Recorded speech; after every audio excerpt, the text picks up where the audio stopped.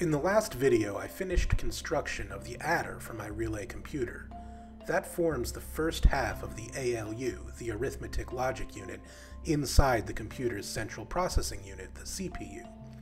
To finish the other half, I need to build circuits for computing logical functions of binary numbers, which are known as bitwise functions. Suppose I have two binary numbers. In computing, we often need to apply a logical function to each column of bits and look at the result. This is called a bitwise function because it operates independently on each bit of the numbers, instead of considering the entire number as a single truth value. Let's say we wanted to do a bitwise AND. To calculate that value, we start with the rightmost pair of bits and apply the AND function, writing the result below. This is the bitwise AND result. As you might remember, we can get this result using the AND gates I designed for use in the adder. The second pole on those relays was also used to create an XOR gate. I designed these two gates for the adder this way because I thought it was the easiest design to understand. But it turns out the AND gate design used in the adder presents a small problem. Here's why.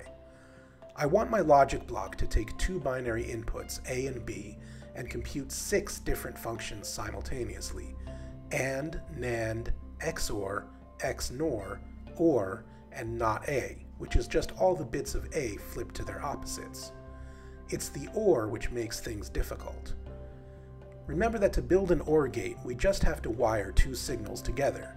If either or both of them are turned on, the output will be on. But I can't do this with the inputs to my logic block. If I connect them together, then either A or B would trigger both input relays, which is wrong. To make an OR gate this way, I need a relay that can repeat each input signal, so the actual inputs don't get their wires crossed. If we look back at the AND gate, we can see that because the armature on the A relay is connected to constant power, the normally open terminal works as a repeater. If A is off, the normally open terminal will be off, and if A is on, the terminal will be on. But the armature on the B relay is not connected to constant power. It only receives power when A is turned on, so B does not have a repeater. The situation is similar with the XOR gate. The normally open terminal on A acts as a repeater, but on B the terminals are used as inputs and the armature gives us the XOR output. We can deal with this by being a little clever and designing a new AND gate that works in a slightly less obvious way. I'll connect A and B to individual relays as before, but I'll also connect B to the armature of A instead of a constant power source. That means that the normally open terminal of A will be connected to power only when both A and B are on, a single relay AND gate. That frees up the armature on B to allow it to be connected to constant power, providing a repeater for the B input. On the second pole, the XOR gate works exactly as before, and we can still tap off the normally open terminal on A to repeat the A signal. That gives us our two repeat signals, allowing us to make an OR gate. Here's my prototype for the logic block. The relay on the left implements the AND gate, and with the second relay the XOR gate. The two relays on the right act as inverters, giving the NAND and XNOR outputs. The LEDs show the input state and the results.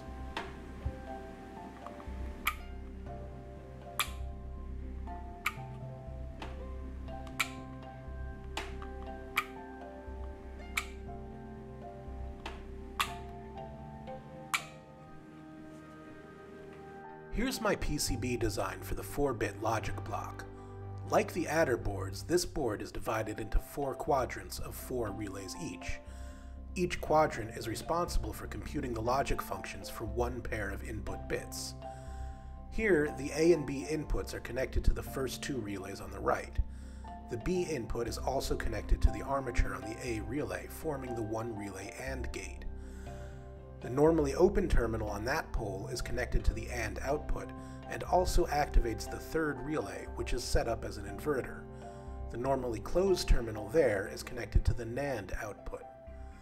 The inside poles of A and B relays have their normally open terminals wired together, creating the OR gate. Additionally, the left-hand poles form the XOR gate. The left-hand armature of the B relay is connected to the XOR output. It also activates the fourth relay, which is set up as an inverter. The normally closed terminal there is connected to the XNOR output.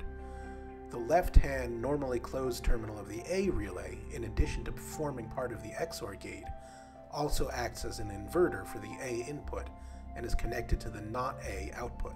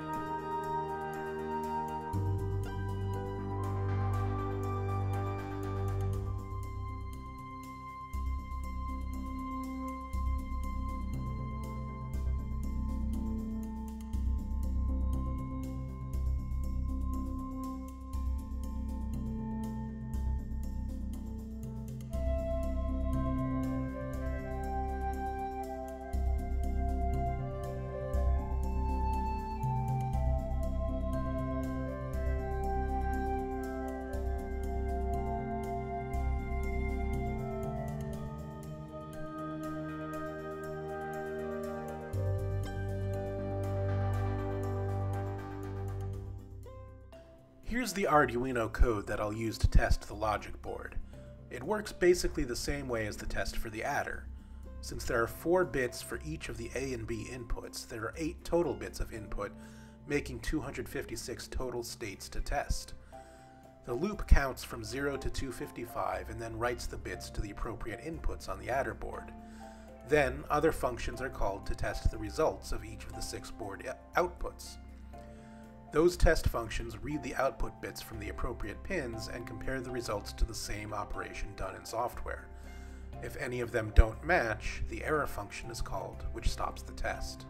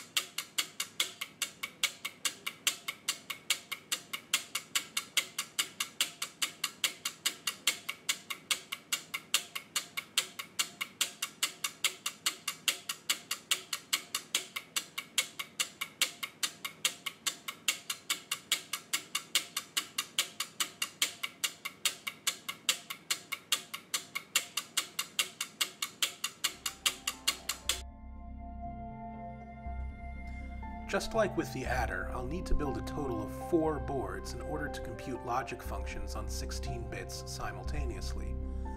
The next step is to build a multiplexer, but I'll save that for a future video. Until then, thanks for watching.